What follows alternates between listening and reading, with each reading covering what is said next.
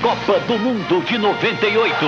A manchete carimba o seu passaporte rumo à França e arma as jogadas com a estreia da nova programação esportiva. Em janeiro, pontapé inicial com bate-bola e feras da Copa. Fevereiro, goleada de emoções. A seleção é manchete.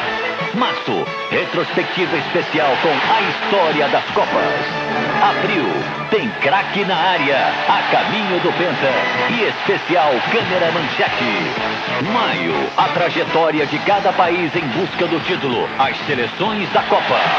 Junho, especial França, os estádios, as cidades, todos os preparativos para a última Copa do século.